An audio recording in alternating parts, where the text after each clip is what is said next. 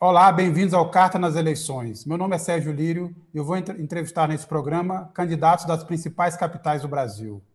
O critério de convite levou em conta a importância do partido, a diversidade ideológica, a trajetória dos candidatos e a posição nas pesquisas. Nesta edição, eu, recebo Marília Reis, candidata do PT à Prefeitura de Recife.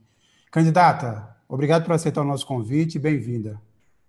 Obrigada, Sérgio. Obrigada a toda a equipe da Carta Capital. Queria mandar um abraço para todo mundo, para mim, Carta, essa figura que todos nós admiramos, e dizer que estou muito feliz pelo convite, muito honrada. Espero que a gente possa falar muito aqui sobre política, esclarecer para todo o Brasil mais ou menos o cenário, a minha visão do cenário político aqui do nosso Estado.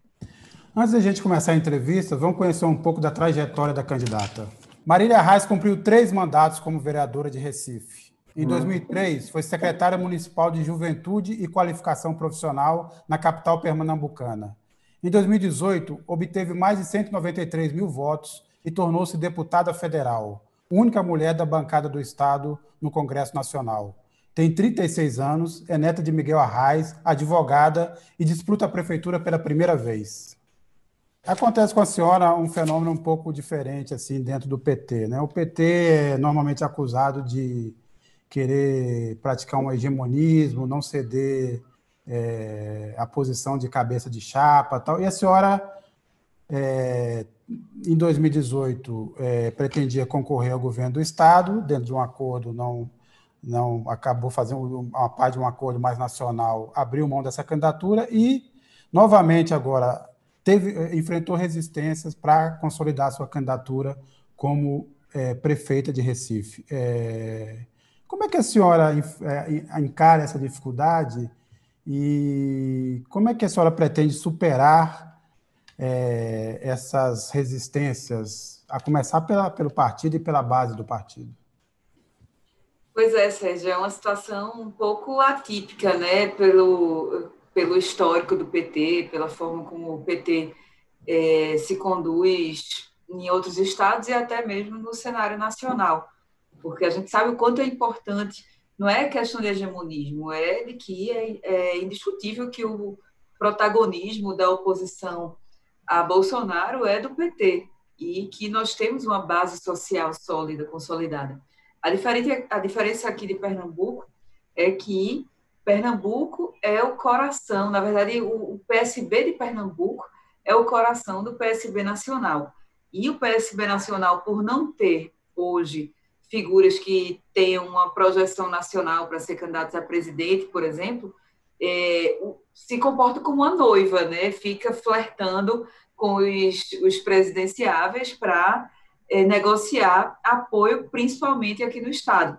E infelizmente eu fui é, um, um, objeto desse, desse acordo em 2018, né, que aconteceu porque a gente estava ameaçando diretamente o projeto de poder que o PSB tem aqui para Pernambuco e é, o PSB é, pressionou bastante o PT para retirar a nossa candidatura e terminou acontecendo.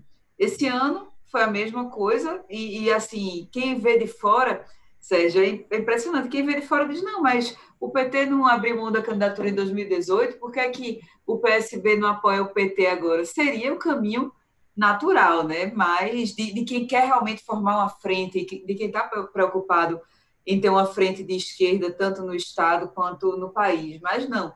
Aqui é uma coisa assim que entre a classe política, principalmente, é um negócio né, que ninguém pensa, ninguém imagina, porque o PSB que é hegemonista em Pernambuco e é importante lembrar que eu entrei no PT em 2016, em pleno ano do golpe, que a presidenta Dilma sofreu. E aqui todo mundo dizia que eu era louca, que estava indo para o PT no, no pior momento. E, na verdade, a gente conseguiu reanimar o partido, a militância do partido, a base social. E foi a eleição para vereadora. Eu tive três mandatos de vereadora, disputei três eleições. Foi a eleição que eu tive mais voto mas já rompi com o PSB em 2014, no primeiro turno, apoiei a presidenta Dilma, no segundo turno nem se fala, né, que o PSB foi apoiar a Écio Neves, em 2016 eu saí de fato do partido, até para não colocar o mandato em risco, porque aqui eles exercem influência sobre todos os poderes, né? E é, em 2016 é que eu fui para o PT. Em 2018 houve tudo isso, mas não foi uma candidatura a governadora também, uma pré-candidatura, na verdade, que foi construída do dia para a noite. A gente, é, depois desse processo que houve, do, da minha entrada no PT, como o pessoal ficou animado, eu coloquei o pé na estrada, comecei a conversar, a aglutinar a base petista e com isso a candidatura foi crescendo também, até porque o governador é, é um dos poucos que teve esse, essa situação de, de, muito mal avaliado, foi reeleito estando mal avaliado e continua mal avaliado. Então a gente teve aquele vácuo na, na época e, na verdade, o, o nosso Estado, a, a política de uma maneira geral, vários estados do Brasil, mas Pernambuco é um deles, que carece dessa formação de quadros na política Agora, e a gente está aqui nesse processo. Agora, candidata, é, é, é, também uma disputa, vamos dizer assim, pessoal e familiar, porque a senhora, nesse momento, segundo as últimas pesquisas, lidera, e o segundo colocado é o João Campos, um primo da senhora, é a aposta do, do, do, dos líderes do PSB do Estado. Eu, qual, qual é o, o que, que a senhora ressaltaria? Assim, qual a diferença do projeto que a senhora tem hoje, desse projeto que a senhora diz hegemônico aí do PSB? Qual é a, a principal diferença? A principal diferença, Sérgio, é que o PSB tem um projeto de poder. E, para manter esse projeto de poder, ele se flexibiliza tanto em termos de diretriz de governo, quanto de é, diretriz ideológica, né, de posicionamento ideológico. A prova é o que aconteceu em 2014, em 2016. É, o posicionamento do, do PSB, por exemplo, em relação à prisão do presidente Lula foi uma reação bastante tímida, dizendo para se fazer a justiça e tudo mais. Mas, quando viu que estava ameaçado pelo PT, o próprio governador e até Jarbas Vasconcelos, que fazia parte da chapa, apareceram lá fazendo o L de Lula e tudo mais. Então, o que eles têm é um projeto de poder, não é um projeto para realmente transformar a sociedade. E nós temos um projeto de cidade, um projeto de país diferente. Nós, nós estamos nessa defesa já faz algum tempo. A nossa candidatura não está à frente das pesquisas à toa. Foi a única candidatura que, desde o início do ano, fez uma discussão sobre a cidade, que está sendo propositiva, que, que tem um porquê de estar tá acontecendo. Não é para que ou porque quer ser candidata a prefeita, é para que quer ser candidata a prefeita? Porque a gente tem um propósito,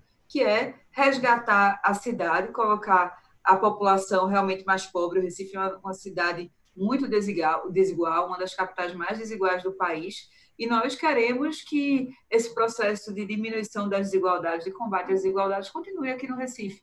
O PSB não, o PSB tem um projeto de poder. Agora, a senhora foi recentemente criticada por integrantes do PT, do PT por ter proposto ou defendido ou insinuado a necessidade de, uma, de algum diálogo com o governo Bolsonaro. Primeiro, eu gostaria que a senhora explicasse isso e depois dissesse se é possível ter um diálogo com o governo Bolsonaro.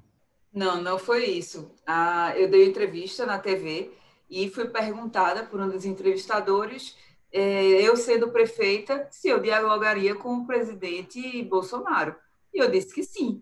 Eu não poderia ser responsável de dizer que eu, prefeito de uma capital, não dialogaria com o governo federal. A, a forma de organização federativa do país exige essa relação institucional. Então, eu, sendo prefeito do Recife, preciso, tenho a obrigação de ir atrás de recursos, de fazer articulações políticas, tanto com o presidente quanto com o governador, a quem faço oposição também, e com parlamentares, com a bancada, federal, enfim, com o próprio presidente da Câmara, quando precisar, vou fazer isso tudo. Quem quiser me criticar, pode criticar. Eu estou sendo responsável com a cidade.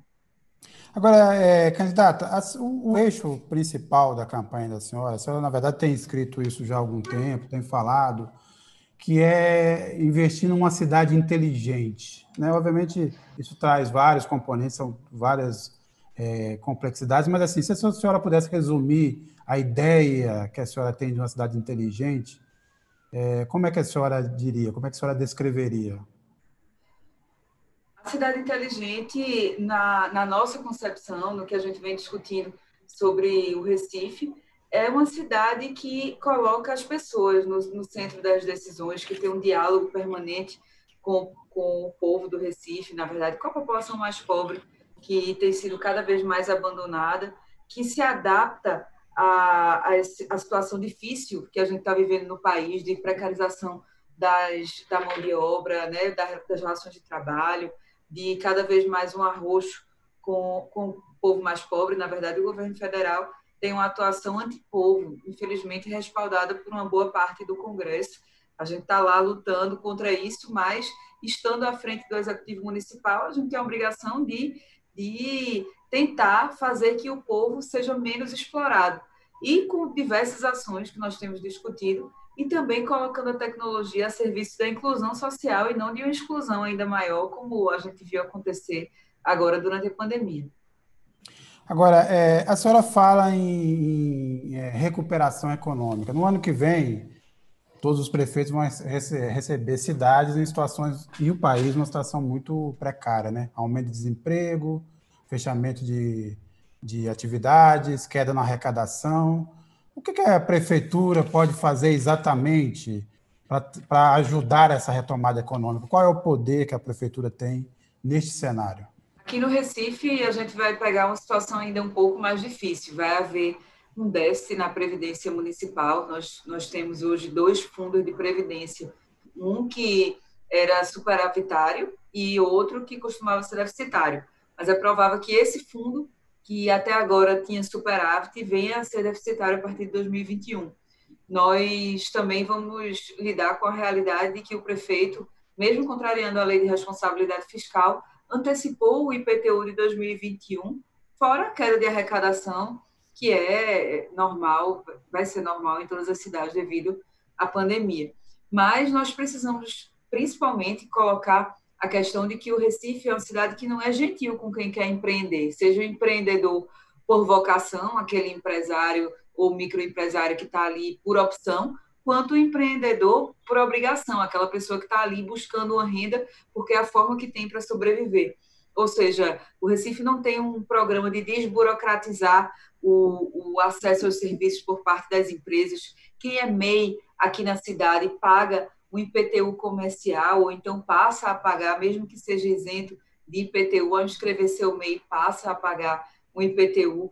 Nós vemos que vários MEIs também têm uma dificuldade para se inscrever, para emitir nota fiscal. Não é tão fácil inscrever o MEI quanto, quanto tirar e emitir nota fiscal, ter autorização da prefeitura para emitir nota fiscal e a burocratização de uma maneira geral. A gente precisa é, facilitar esse acesso e também para que os empreendedores, né, as pessoas que precisam de, daquela renda, que são trabalhadores, que estão trabalhando por conta, conta própria e precisam dessa dessa renda possam ter um apoio da prefeitura, um fundo de aval. É possível que a gente tenha um fundo de aval para avalizar operações de microcrédito. Existe, é, não é difícil de acontecer, inclusive estive no Sebrae conversando com o Sebrae durante esse período e veio de lá a sugestão. Disse, olha, não, não é questão de ter um banco popular que é mais complicado, mas é perfeitamente possível a prefeitura avalizar operações de crédito que as pessoas vão fazer por meio de outras instituições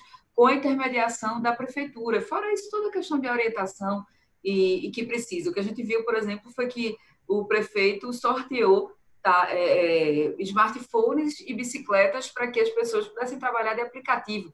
Isso cerca de um ano atrás. Isso não é política de geração de renda, muito pelo contrário, é você olhar as pessoas sendo exploradas e dizer que está tudo bem.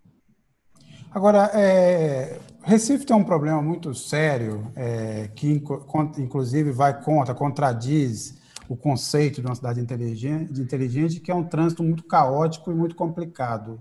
Como é que a senhora atacaria esse problema? Assim, qual deveria ser a prioridade para tentar amenizar esse problema? Isso, aqui o Recife tem o considerado o pior trânsito do país.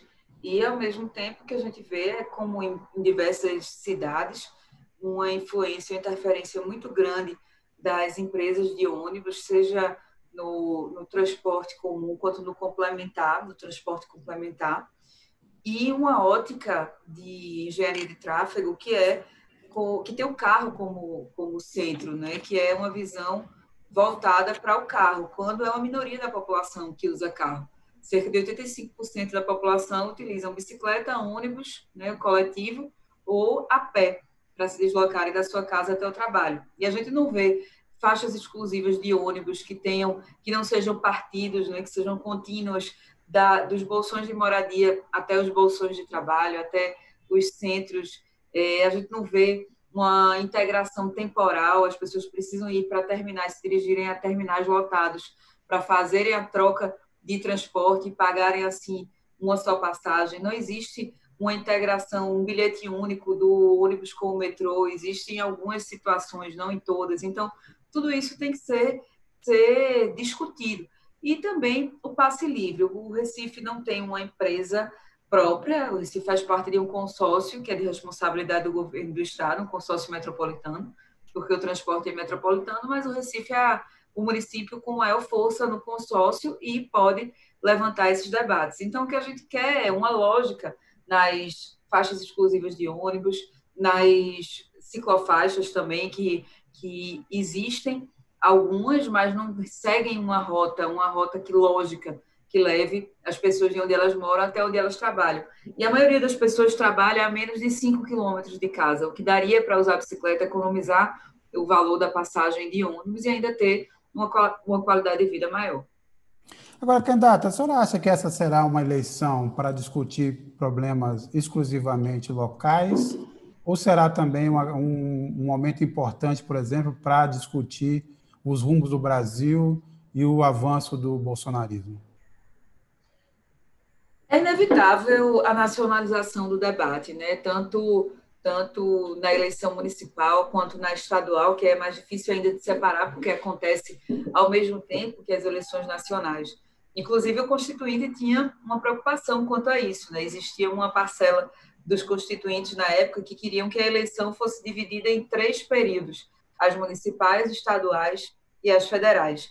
Agora, é importante que a gente converse sobre a questão nacional, até porque não é, não é algo que seja apartado, separado da realidade municipal, muito pelo contrário. A política nacional que tem sido implementada impacta diretamente na vida de todas as pessoas, dos municípios, mas também não pode deixar o debate sobre a cidade do lado, ao lado, né? sem, sem a gente falar sobre as questões em que a prefeitura realmente tem condições de interferir e que precisa ser modificado. Como é que a senhora avalia a gestão aí da prefeitura é, no combate à pandemia? Aqui a gente viu uma quantidade absurda de escândalos, né? Já fomos aí em seis ou sete, acho que seis operações da Polícia Federal, que ao contrário do que alegam, não é simplesmente perseguição de Bolsonaro. Existe, existe a perseguição do judiciário, existe o lawfare, mas não nesse caso. A gente tem que separar o joio do trigo. A prefeitura comprou, por exemplo, respiradores em uma empresa veterinária que foram utilizados em porcos para colocar nos hospitais de campanha. E diversas outras irregularidades no uso do dinheiro da Covid, uma quantidade enorme, valores é, é, estratosféricos comprados com dispensa de licitação, superando até a cidade de São Paulo, do Rio de Janeiro. Então, o Recife foi um dos centros é, em que, que chamou a atenção do Brasil em relação ao mau uso do recurso das verbas para a Covid-19. E eu acho que ainda vai ter muita coisa investigada. E como é que a senhora pretende lidar com a volta às aulas? Sendo prefeita, como é que a senhora vai lidar com esse tema? São dois problemas. A, a necessidade de voltar à aula sem ainda um tratamento ou uma vacina adequada e o histórico que ficou desse ano, que é um ano, em grande medida, perdido para os alunos? Eu acho que a pandemia evidenciou já dificuldades que já existiam, né? inclusive em relação à educação. A gente está vivendo um apagão educacional, grande parte dos estudantes não está podendo ter acesso à, à aula, à educação como um todo. As famílias estão tendo dificuldades também, muita gente dependia das escolas, das creches, para poder trabalhar. Isso impactou diretamente na saída de muitas mulheres do mercado de trabalho, porque termina sobrando para as mulheres esse, esse dever de cuidar. Então, nós temos que correr atrás do tempo perdido em relação à educação, na adaptação das escolas também e na retomada econômica voltada para uma priorização das mulheres, que têm sido as mais prejudicadas nesse período, tanto as que tiveram que sair dos seus trabalhos, as que perderam seus empregos, que tiveram, que foram é, é, colocadas em segundo plano em detrimento a homens, quando precisavam ser demitidas, justamente por conta desse rendimento menor que tiveram devido a terem que cuidar da casa dos filhos. Mas, então, temos que olhar por essa ótica também, e isso só vai acontecer se for uma prefeita mulher, se for um prefeito, eh, provavelmente não vai levar isso em consideração, uma prefeita mulher que tenha essa, essa preocupação, essa consciência da diferença que existe entre homens e mulheres. Então, é preciso ter essa, essa consciência, cobrar do governo federal também atitudes diferentes da que está tendo, haver uma pressão dos municípios em cima do, do governo federal, por mais desgoverno que seja, é necessário haver essa articulação institucional e voltar às aulas com a maior responsabilidade possível, preservando a saúde dos profissionais da educação e das crianças também. É, candidata, a senhora foi, lembrou muito bem, a senhora passou pelo PSB, está agora no PT, PSB e PT governaram a cidade, aí já tem uma longa história de, de administração da, da capital. É, o que, que seria a transformação que a senhora é, empreenderia na cidade, pensando inclusive nesse passado aí? Na verdade, você não pode colocar PSB, PT num balaio só em termos de administração do Recife. O PT, na, o PT quando chegou à administração da cidade, fez uma verdadeira revolução na, no, aqui na cidade. A gente viu pela primeira vez passar anos sem, sem morrer ninguém por conta de deslizamento de barreiras. O Recife é uma cidade que tem cerca de 200 mil pessoas morando, morando em pontos de risco. Cerca de 500 mil pessoas das é, 1 milhão e 600 mil, cerca de 500 mil moram em morros na cidade. Então, tem que ter uma política de contenção de encostas permanente, algumas, algumas obras em parceria com a comunidade outras feitas diretamente pela prefeitura mas é necessário ter uma visão nesse sentido. E o PT foi, foi quem primeiro teve essa visão e o PSB abandonou esse tipo de política. As escolas, na época em que o PT foi governo aqui em Pernambuco, eh, tiveram também uma mudança enorme, tanto em relação à merenda, e o PSB hoje responde diversas ações e inquéritos em relação a desvio de verba eh, de merenda nas escolas, a merenda não é com a qualidade que já foi um dia. Então, o PT mudou a qualidade da merenda, a relação das crianças com as escolas. As escolas eram abertas nos finais de semana, tinham uma interação diferente com a família. Na época do PT, se passou de 28 equipes de saúde da família para mais de 200 equipes de saúde da família. Hoje são 276 e o PSB não aumentou uma equipe de saúde da família sequer. Pelo contrário, diminuiu duas equipes. Dados de final de 2019, dessas equipes, cerca de 10% não tinham médicos nela, tinham, e outras faltavam outros profissionais.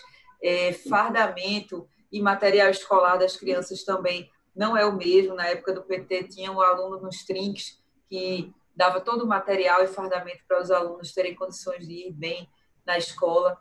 Enfim, e nós, na verdade, temos o exemplo de tudo isso que aconteceu, Sérgio, mas é importante a gente saber que com o passado a gente tem que aprender com os acertos e com os erros e olhar para frente, olhar para o futuro. É isso que a gente tem feito, analisar a situação da cidade hoje, como é que está o Recife, e fazer propostas olhando para frente.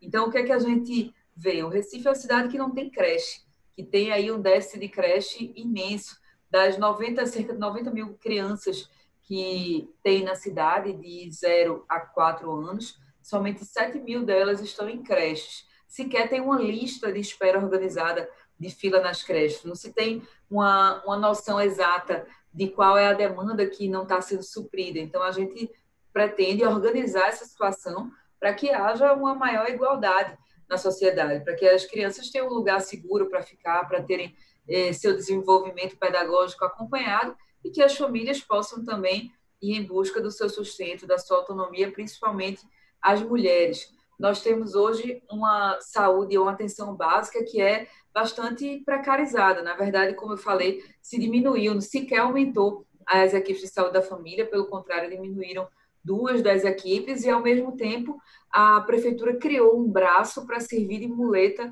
à saúde já precária do Estado, que é um atendimento de emergência, um sistema de UPinhas, que na verdade não é de emergência como um todo, é misto, porque ele só atende quem, quem vai buscar um atendimento de emergência ali no entorno da comunidade, não é não é um atendimento de emergência como deveria ser, que até inclusive o juramento dos próprios profissionais de saúde diz que deve ser, que quem chegar lá tem que ser atendido, quem chegar lá buscando atendimento de emergência tem que ser atendido. Então, nós queremos acabar com a fila para marcação de consultas. Hoje, em pleno ano 2020, ainda tem gente que dorme na fila para conseguir uma consulta, tem um atendimento de atenção básica totalmente precarizado, isso impacta na saúde como um todo. A gente não tem uma, uma articulação efetiva com o Estado para a relação de segurança, né, para a questão da segurança pública, para que o município possa dar sua, sua contribuição em relação à segurança. O que a prefeitura fez foi criar uma Secretaria de Segurança Cidadã, que, na verdade, é basicamente um, um cabide de emprego, não tem uma função uma função prática, é, se deslocou a Guarda Municipal para lá, para essa secretaria, e afastou a Guarda Municipal da secretaria que trata de controle urbano e mobilidade. Então, isso, isso prejudicou muito a atuação da Guarda. Hoje, a Guarda termina sendo é, utilizada somente para aplicar multas, multas essas, inclusive, que a gente não sabe para onde são utilizadas. A gente tem uma proposta de criar um fundo para que, no mínimo, 50% do arrecadado com essas multas sejam utilizados para obras viárias e cicloviárias necessárias para, o trânsito. Tem muita coisa que a gente está discutindo, sabe, Sérgio, ao longo desse tempo e que tem sido muito produtiva. A gente tem visto, por exemplo, em relação à cultura. A cultura hoje, é, com o PSB, está resumida a festivais, ao Carnaval, ao São João, alguma coisinha ali no Natal, mas não tem um fomento permanente à cultura não há um apoio para que os artistas se regularizem e se fica devendo cachê aos artistas por muito tempo. O artista que se apresenta no carnaval vai receber no São João desse ano. Sempre há um débito grande no cachê dos artistas e também não há uma integração da cultura com as demais áreas da cidade. Tem muita coisa que a gente está propondo, que a gente está é, propondo com a responsabilidade de quem sabe o que é que dá para ser feito e o que não dá para ser feito. Então, a gente propõe o que dá para fazer porque gente, que a gente quer ganhar a eleição e sem decepcionar, sem brincar com a esperança das pessoas. Isso é muito importante que a gente esteja na política com essa consciência que é, precisa ser, ser dada, porque quando você, você brinca com a esperança das pessoas, você termina fazendo que as pessoas critiquem a política, que sejam contra a política de uma maneira geral, isso é muito ruim para a democracia. Agora, candidata, voltando um pouco à questão da nacionalização, a senhora espera uma participação mais efetiva do ex-presidente Lula e acha que será importante um apoio explícito dele nessa, na campanha em Recife? Sempre é importante. O presidente Lula tem, teve um papel fundamental nas transformações sociais que aconteceram em Pernambuco como um todo, aliás, em todo o Nordeste, né? E nós vamos sim, ele já gravou um vídeo muito bonito para mim, a gente já exibiu na convenção, e vamos, vamos continuar assim, defendendo o legado de Lula, mas, repito, olhando para o futuro, olhando para frente, porque a gente ainda tem muita coisa para construir. Eu recebi aqui Marília Reis, candidata do PT à Prefeitura de Recife. Candidata, mais uma vez, muito obrigado pelo tempo disponível, pela gentileza e boa sorte na campanha. Eu agradeço, Sérgio, agradeço toda a equipe da Carta Capital, a, a Mino Carta, é, porque eu tenho muito carinho, muita admiração. E queria chamar quem está nos assistindo aí para nos seguir nas redes sociais, Marília Arraes, no Facebook, no Twitter, no Instagram, que a gente está sempre atualizando sobre a campanha daqui. Agora eu vou embora, vou para a rua que a gente tem uma eleição para ganhar. Valeu, Sérgio. Obrigada. Tá Obrigado. Até a próxima.